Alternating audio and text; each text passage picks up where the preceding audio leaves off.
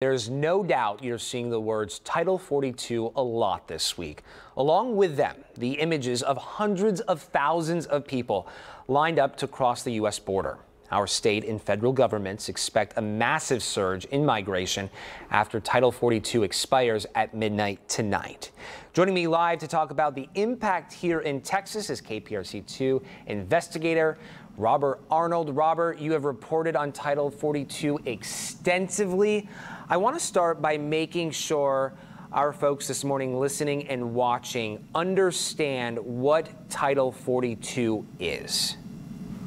This was something that came about in the 1940s. It was created by our government as a way to help stop the spread of a communicable disease. Essentially, it's it's a healthcare measure. It's not an immigration mm-hmm. measure. And what it says is that it gives the federal government the authority to stop somebody traveling from a foreign country at our border and say, we're going to stop you here and we're going to send you back to the country you just came from because we have a concern about your presence coming in further spreading a communicable disease. And like I said, that's been used in targeted ways it's rarely used. It was it came about during the pandemic under President Donald Trump, and it became increasingly used on our border as a way to quickly expel migrants without going through the cumbersome process of deportation. So when you have, in matter of fact, just the first six months of this fiscal year, 419,000 immigrants have been expelled from the country under Title 42 because what it's it's not an immigration uh, charge. It just says we're going to send you back for health related reasons. They're not charged with any crime.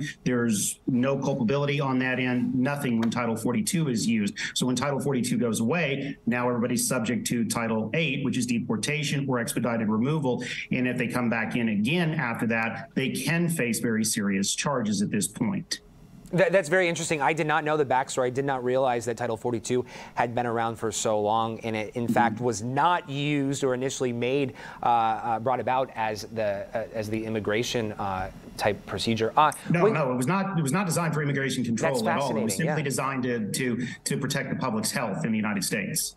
Yeah, that, that's that's very fascinating. Not something that we uh, talk a lot about when we're when we're talking about Title 42. When, so when Title 42 expires, you mentioned Title 8 will will go back into play. What is you, you touched upon it, but what is Title 8 and what changes uh, will we see? I know you touched upon a, a few of those, but give us more on that. Well, Title VIII never went away. Title VIII was still being used along the border. Title 42 was just used as a, as a means of quickly expelling migrants. Title VIII is the deportation process, and that can be cumbersome. And the reason that can be cumbersome and a lot of the, the problems that we've seen along the border is a person has to be deported to their home country.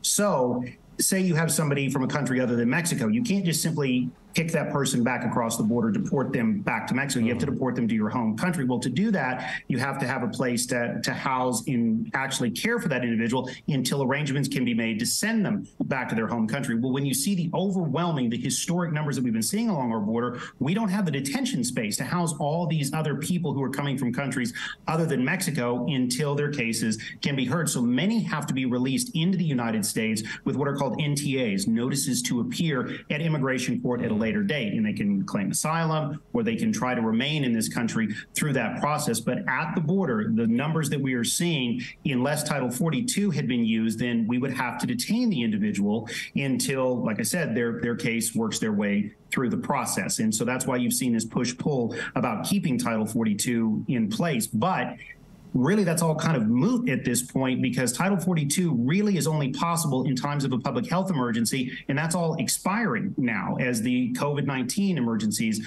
are, are expiring. Robert, when you talk about this push pull, uh, there appears to be a major divide between Democrats and Republicans on this issue. That's nothing new. Do you think that this divide will be detrimental in how we move forward, especially after uh, midnight tomorrow? And the impact that it'll have here in Texas? I, don't really think it's my my place to decide if it's detrimental or not. What I can say is that right now, from every immigration attorney that I've spoken to, to every person that has been mm-hmm. helping immigrants, you know, uh, in this country with either shelter or supplies or food, that the system is chaotic right now. There's no yeah. clear cut priorities. And when you have this type of influx, it's only going to add to the backlog that we're already seeing in immigration court. I mean, we have 2.1 million cases already backlogged in immigration court across the country. It takes one case, one case, an average of 728 days to make it through, make its way through the immigration court system. And the numbers that we're seeing, it's likely that's going to get worse. Yeah. Great perspective for us this morning. We appreciate your time, Robert. Thank you so much for coming on the show. Mm-hmm. Thank you, sir.